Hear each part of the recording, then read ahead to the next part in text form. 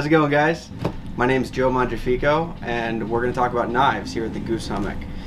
We've got uh, actually a pretty impressive knife selection. We're not just fishing anymore. Um, the first one I'm going to talk about is the Benchmade Adamas. It's designed by Shane Sibert. He's a really well-known knife maker in the custom knife industry and he designed this for Benchmade. This is the Auto Adamas, so it's not technically legal to carry, but it's a lot of fun to carry. Um, next, we're going to move into my favorite brand, which is Boker. And uh, Boker's cool because they do a lot of factory collaborations with custom knife makers in the industry. Um, the next two that I'm going to talk about are designed by Lucas Burnley, who's a really well-known, uh, accomplished knife maker in the industry. And uh, first one is the Kihon. And this is a really cool knife. Um, it's it's got a copper uh, handle which in a year or so it's going to look really good from patina, like natural patinas and stuff like that. Um, a liner lock and it's assisted. The cool thing about this knife is that most folders have uh, a stop pin. On this one, the thumb stud is the stop pin. I don't know if you can see, but this thumb stud is what locks it open instead of a pin being back here. That's the Kihon. Copper. The next one, um, I've carried one of these for a lot of years. This is a Kwaiken. And um, it's really Japanese, traditional Japanese inspiration, also designed by Lucas Burnley. Um, and it's just a really sleek, slim uh, knife that fits really nice in your pocket.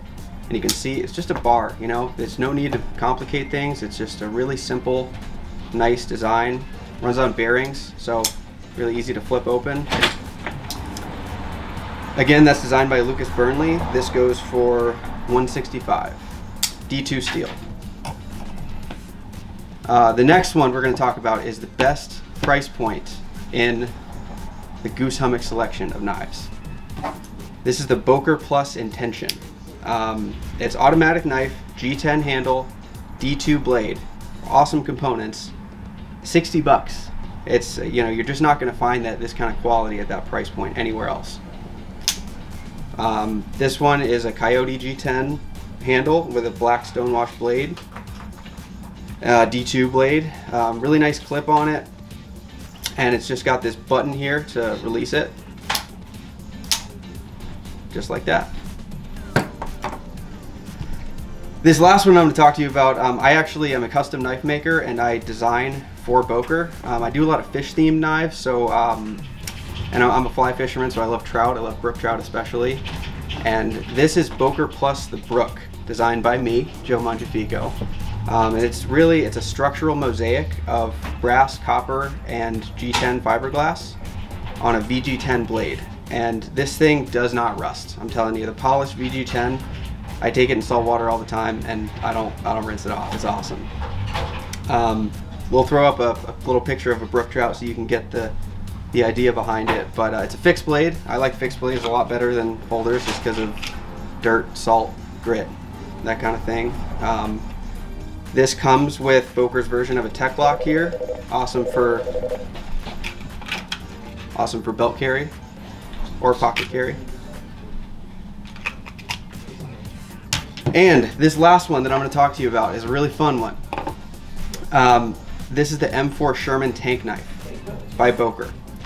Chad Nichols makes a lot of Damascus for every knife maker in the industry, pretty much. Um, and he sourced, uh, well, really, Boker sourced uh, uh, steel from M4 Sherman tanks in World War II and had Chad Nichols forge it into bar stock Damascus.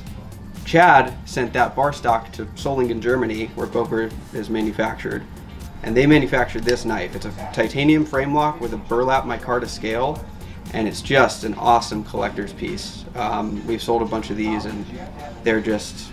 I'd have a hard time putting hard use on it just because it's so beautiful, but um, I'll give you a little close up of that. And uh, those are my top five or six uh, knives in the Goose Hummock knife selection.